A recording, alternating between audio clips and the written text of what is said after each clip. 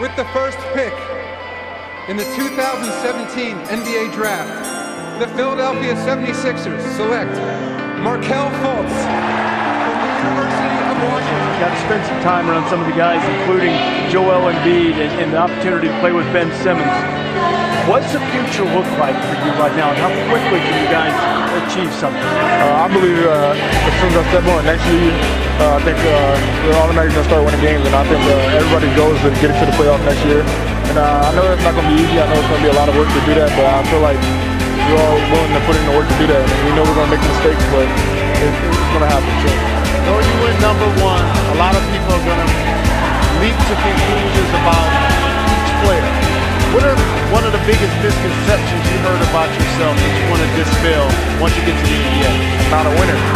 I just started doing that. This anybody that knows me just know how competitive I am and how I come every day to practice and putting forth my, my effort and just lifting up my teammates. And um, if you look at my resume through high school and everything like that, I, I've been winning all my life.